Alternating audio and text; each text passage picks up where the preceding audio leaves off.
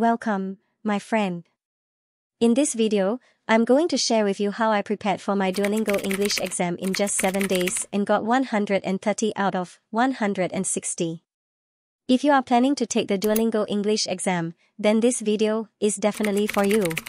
Here are the 5 things that you can take home from this video.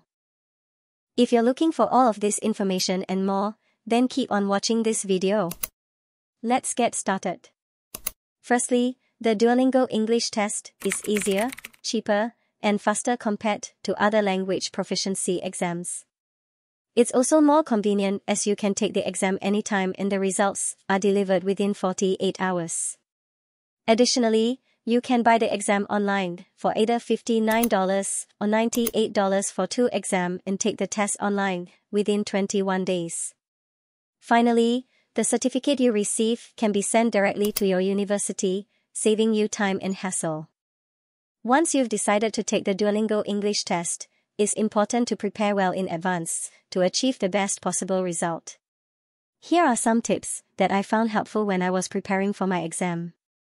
Firstly, increase your typing speed and practice typing without looking at your keyboard.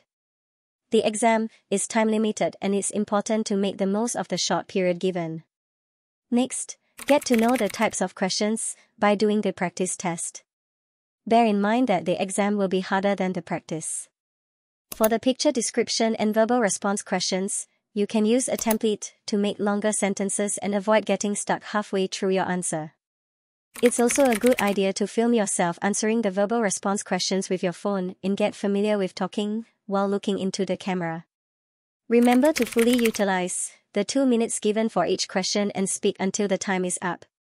There is no need to use a lot of complicated words, just use simple words that can express your thought. For the English vocabulary related questions, only choose the words that you're sure are correct. For the paragraph reading and sentence selection questions, take your time and read carefully to avoid nervousness during the exam. A new type of question have been added into the exam, which is interactive listening, and speaking sample will be scored from May 2023. Please note that you will need to remember the detail of conversation to be able to summarize them in short essay. For the writing small essays question, use a template to structure your answer. Start with repeating the question using a different context. Express your opinion with two to three supporting points, and then repeat your choice of answer. If you are interested in details on how to answer each type of the question, please comment and let me know. I will make a video to elaborate on this. Lastly, as a wide range of topic could be tested in the exam, it is better for us to get familiarized with some common topic that is frequently tested. I will share my Notion notes with you in the description below. These topics include travel, vacation, famous people, people around you, environmental topics, culture, historical figures, social media, technology, and animals. And don't forget to try ChatGPT with the past questions listed in my notes. This will help you to practice your English skills in a fun and interactive way. Now let's talk about the do and don't for the Duolingo English exam. If you fail to follow any of this, high chance that we will see you in the next exam. Must be alone, in a quiet, well-lit room. Clear the room for at least one hour and let your family or roommate know not to interrupt you during the test. Ears must be visible and uncovered. Face must be visible and unobscured. No mask. Tie your long hair to show your ears. No headphones or earphones.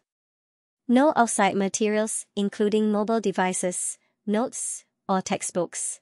Remove unnecessary objects from your desk. No copying or memorizing responses from other sources. No communication with anyone else. No writing utensils or paper. Do not look away from the screen. Do not look around during the exam or look suspicious.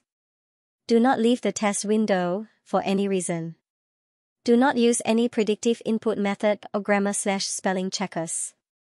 Do not use any third-party web camera software. Disconnect a second monitor and close any software that enables screen sharing or remote access. Type on only one keyboard and use only one mouse.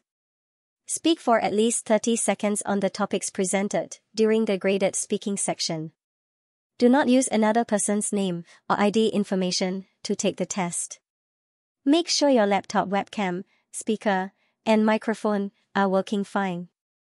You can test it with Discord or with your friend or family. Lastly, prepare your passport or driving license for verification purposes.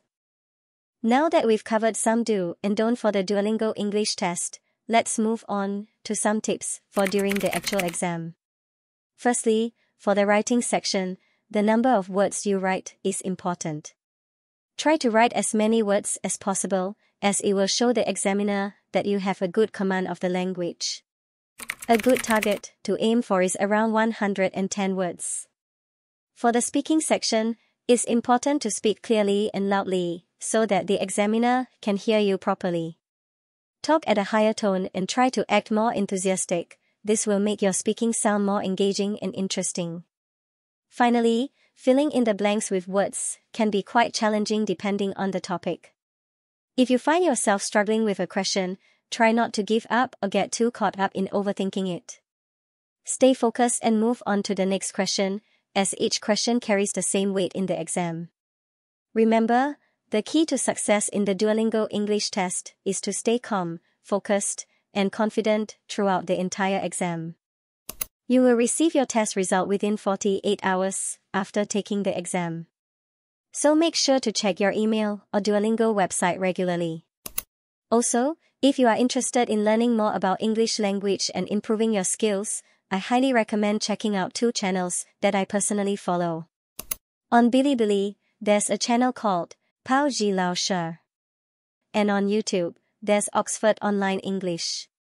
I will share the link in description. Finally, thank you for watching this video. And if you want to see more videos from me, click here to check out my latest one. Or subscribe to my channel. I'll be sharing more about bullet journaling, design, code, and some cool experiences from my life that could help you in yours. If you found this video helpful, don't forget to give it a thumbs up and share it with your friends who are also preparing for the Duolingo English test. Thanks again for watching, and I'll see you in the next one.